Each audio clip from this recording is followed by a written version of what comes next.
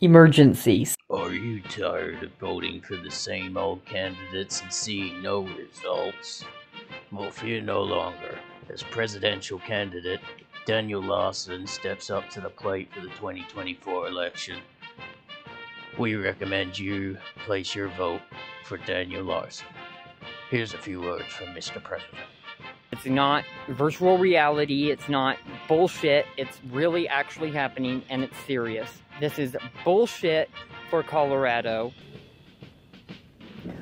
We, the people, need to stand strong with open hearts. My fans are getting criminal charges on us that are all false. Okay, I ain't fucking lying about shit. Come together as one. Create peace in this world.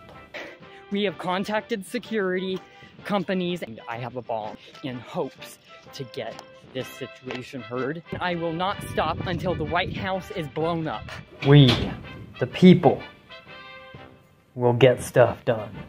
Until we, we get what we need and our safety and the rights we deserve.